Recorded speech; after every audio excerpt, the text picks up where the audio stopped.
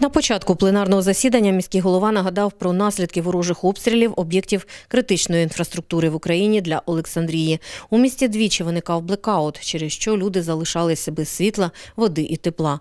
Внаслідок цього довелося кілька разів запускати систему теплопостачання. Трошки більше, ніж за місяць, три рази розпочинали новий опалювальний сезон. Що таке розпочати новий опалювальний сезон? Це знову закачати воду в систему, це знову гідроудари, це знову пориви, це знову ремонтні роботи, це знову завоздушення і знову, і знову, і знову. Сергій Кузьменко дякує енергетикам та нагадує, хто саме винен у кризі в енергосистемі країни. Те, що сталося з енергетичною системою України, видна тільки одна людина це конкретно Путін. Саме він віддав приказ про руйнування енергетичної системи в Україні. І ще раз дякую нашим енергетикам за мужність і за велику відданість і за велику роботу, яку вони кожен день роблять для того, щоб ми отримували хоча б 40% від того, що нам потрібно кожен день.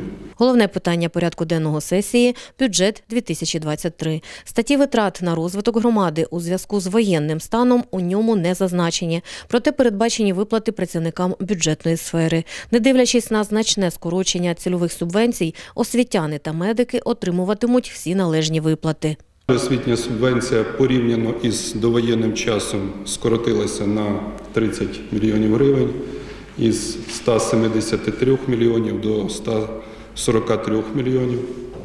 Це скорочення вже мало місце і в 2022 році, в цьому році. Ми знаходили можливість і підтримали наших, підтримували наших освітян, щоб на їхніх доходах це ніяким чином не відбилося.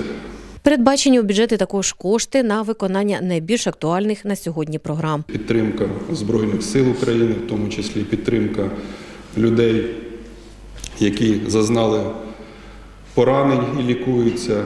Ну і, на жаль, підтримка тих людей, які мають горе в своїх родинах і втратили своїх батьків, синів, чоловіків.